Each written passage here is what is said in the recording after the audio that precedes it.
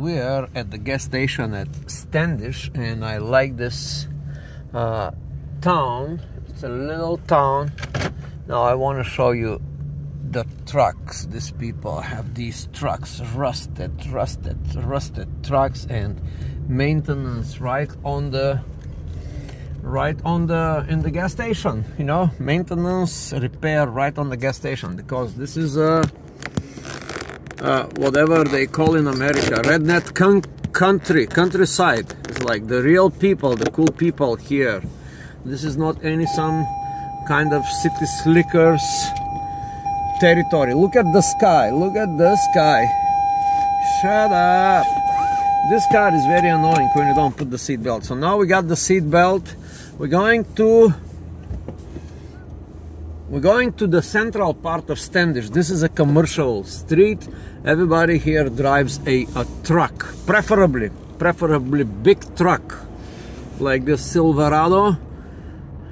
And now we're gonna take, we are in the commercial street uh, uh, in Standish.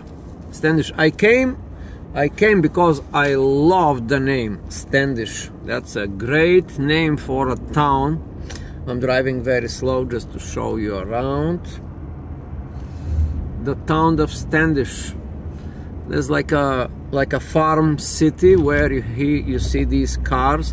On the gas station there was like one uh, particular designed uh, pump for a recreational uh, gasoline kind of like for recreational vehicles there are a lot of here this uh, uh, quads and uh, you know like the Yamahas little and boats and stuff.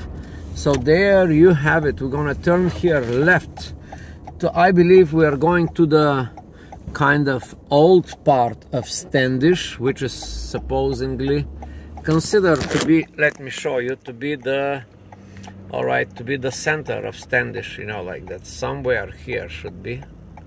Come on stupid map. I show you all right you see this is the center of Standish. Standish is here I guess. All this area but it's a great little town